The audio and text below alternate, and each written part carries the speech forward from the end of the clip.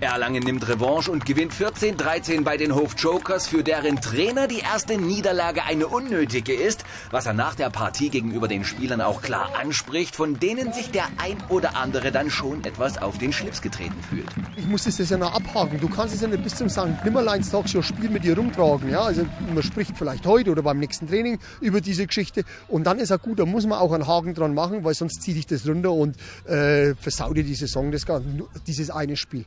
Ja? Und es war ja nur ein Spiel. Wir haben fünf gewonnen. Und kann auch schon wieder lachen. Klar, bei den Jokers ist alles im grünen oder besser gesagt violetten Bereich. Wir schauen aufs Spiel, dessen erste zwei Viertel von den Defensiven geprägt ist. Die der Jokers ist auch in der Bayernliga die beste, die, die am besten zupackt. Wo es etwas hakt, das ist die Offense. Hof zwar gefälliger. Nehmen wir als Beispiel diesen Pass auf Tobias Tröger. Doch wenn sie die Sharks an die Endzone gedrückt haben, dann funktioniert's mit der Brechstange nicht. Erlangen einige Male mit Interception, kann also die Bälle der Jokers abfangen. Zwar auch kein Kapital draus schlagen, aber die Hofer Coaches sind am Grübeln, wie sie die Gäste denn diesmal knacken können. Ein Ansatz dann im dritten Quarter. Gunnar Knöckel fängt den Pass von Nicola Bilodel kurz vor der 20-Yards-Linie, schaltet runter, drückt aufs Gas und stoppt dann erst in der Endzone. Touchdown. Sechs Punkte. Nicht unverdient die Jokers-Führung und Johannes Wellner holt mit dem Field Goal noch den Extrapunkt zum 7-0. Das jedoch ein Spielzug, den die Jokers teuer bezahlen. Marcel Brömmer hat sich böse verletzt. Schienbein, wie er selbst noch sagt, hat große Schmerzen. Und dann geht's nach Erstversorgung mit dem Sanka ins Krankenhaus. Wahrscheinlich out of season. Werd schnell wieder gesund, Marcel.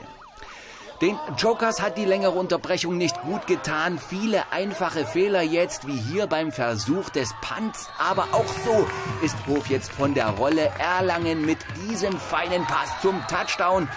Und weil sie den Ball dann zugegebenermaßen sehenswert nochmal in die Endzone tragen, Two-Point-Conversion, also zwei Bonuspunkte, Führung für die Sharks.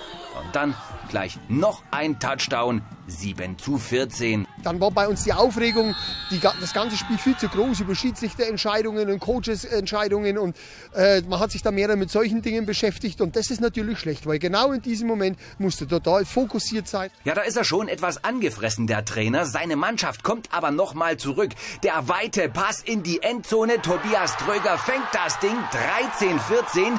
Jetzt Field Goal zum Ausgleich oder Versuch auf zwei Punkte. Das ist so eine Art Gewinnermentalität. Also wenn, dann willst du hier gewinnen und willst kein Unentschieden spielen. Klare Ansage. Auch wenn dieser Versuch schief geht und die Jokers am Ende knapp verlieren. Den direkten Vergleich mit Erlangen, den haben sie gewonnen und den Staffelsieg somit nach wie vor in der eigenen Hand.